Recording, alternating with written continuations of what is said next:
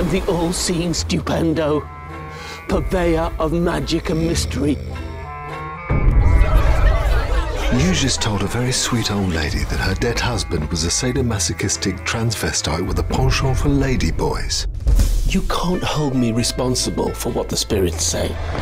You got what I asked you for. That's him.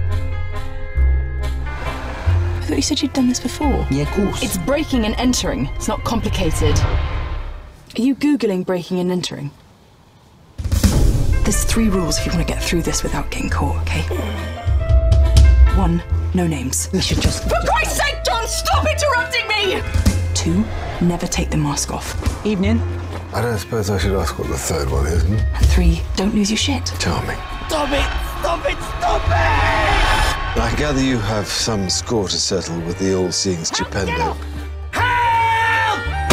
Oh. I never met no one famous before. Smile, blood. What the hell is this? It's on bloody Facebook! I wanted my nan to see it. What if you really had powers? That was a black curse, the death by dawn type. I don't want to die. He's manipulating you. This is what he does. Don't you see?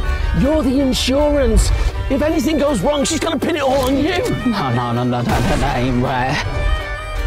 I'm not some hack in some cheap fairground sideshow.